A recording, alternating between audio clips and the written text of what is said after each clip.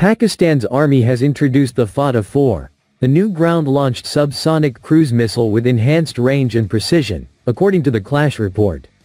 The Fateh-4 has a stated range of 750 kilometers, a reported accuracy of 5 meters, and travels at approximately 0.7 Mach. The missile weighs 1,530 kilograms and carries a 330 kilogram warhead, making it capable of striking targets deep inside an adversary's territory. The missile is deployed on a Chinese-built Taian TA-5450, 8x8 transporter launcher vehicle, which carries three missiles in ready-to-fire canisters.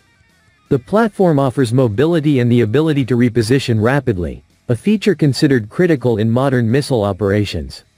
Pakistan's unveiling of the Fateh-4 signals a continued effort to expand its indigenous missile capabilities while integrating foreign-supplied launch systems. The design aligns with the country's strategy of maintaining a credible conventional deterrent alongside its ballistic missile program. The Fateh-4's range places several key regional targets within reach, and its mobility on a wheeled 8x8 chassis increases survivability against preemptive strikes. The missile's payload and precision are optimized for high-value, fixed targets, including command centers, airbases, and infrastructure.